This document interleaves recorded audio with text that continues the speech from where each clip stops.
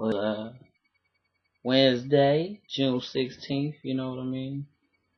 Uh, live from Chicago, Illinois. I'm at the crib. I'm getting a little bit of R&R watching. What's left of this Entourage DVD. But um, really, I just wanted to check in, let you guys know what's going on, what's been what's been on my mind, what's been on my bird. I want to apologize first and foremost for the fact that the the second leg of the crowd control tour um, was postponed.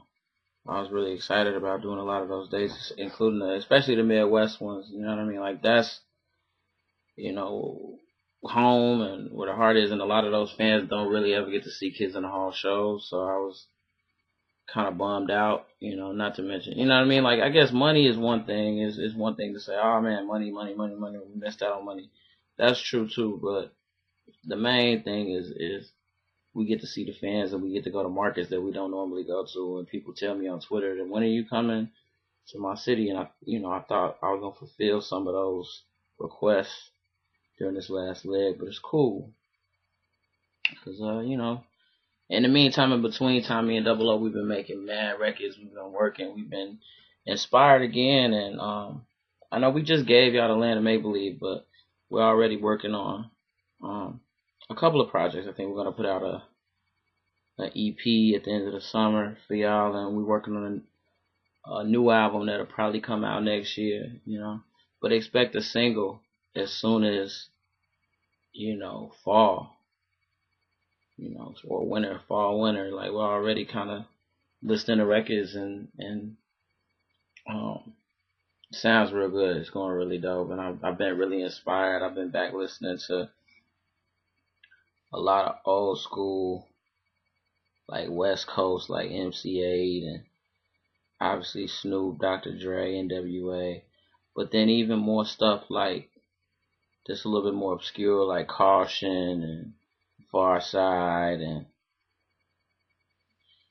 um the Hiero stuff, Planet Asia. Like I've been just been listening to a lot of different stuff. Um a cat by the name of Sly Boogy, who a lot of people might remember from the Swing Tech freestyles. He was he was around during that era.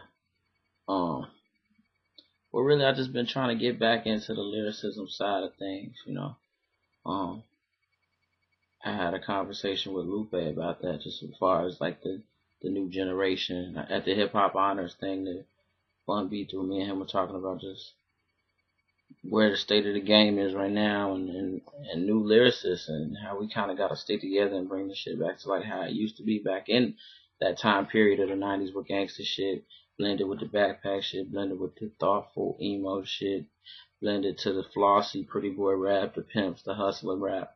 All of it, if, if it's good and it has quality, um, effort put into the, the song structure and the way the beats sound and the way it knocks, man, and it just feels good. That's that's the main thing.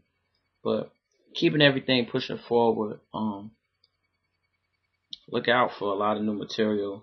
I'm working on a, a mixtape with DJ Moondog, and we gonna, you know, that's.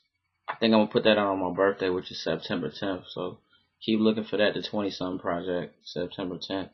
It, you know, don't quote me on that if it don't come out, but I want to say it would come out on my birthday. I'm gonna give a gift to y'all.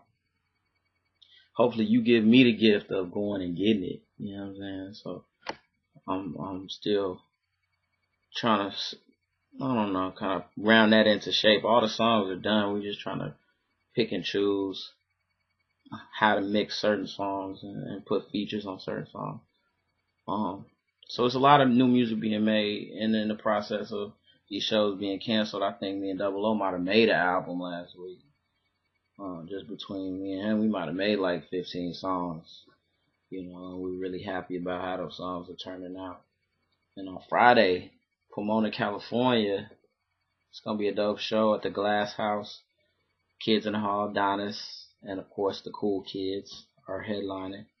Um, it's that's gonna be a real show. We're gonna rage out. If you are in the LA area, you should come.